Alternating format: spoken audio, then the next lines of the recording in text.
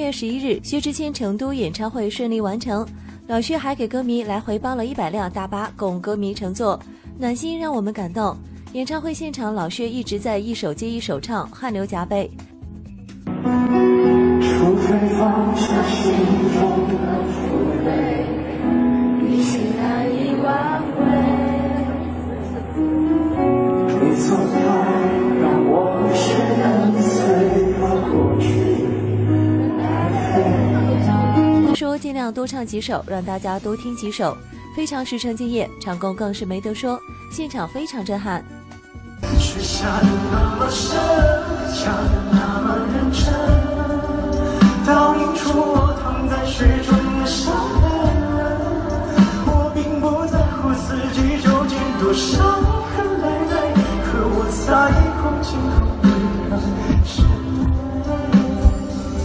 单膝跪地，双手合十感谢歌迷，尤其是那一句“承蒙关照，我回来了”，让多少人瞬间泪目。